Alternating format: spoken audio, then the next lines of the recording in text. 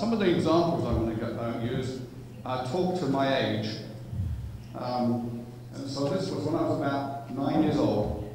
Uh, the, the, uh, the world record for the, uh, the four-minute barrier was, uh, was succeeded. And this is Roger Bannister, broke the four-minute barrier, running the distance in three minutes, 59.4 seconds. As part of his training, look at this, he relentlessly visualized the achievement in order to create a sense of certainty in his mind and body.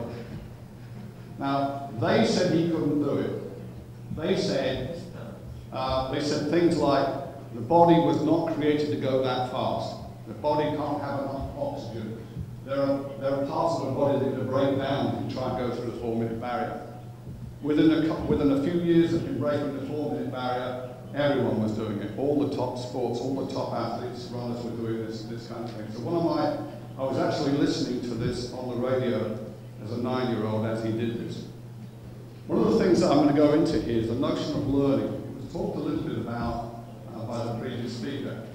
And this is a, a, thing that speaks to it. There's something about the importance of learning uh, for all people, but especially uh, athletes and sports people in general. The illiterate of the 21st century will not be those who cannot read and write, but those who cannot learn, unlearn, and relearn.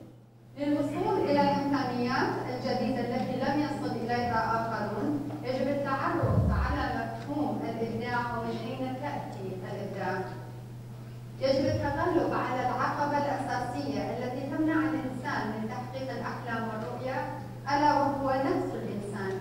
لأن المكان الوحيد الذي يصبح فيه أفكارك مستحيلا هو في داخل الأفكار. وأيضا ذكر الدكتور أن الخوف هو المانع الأكبر للإبداع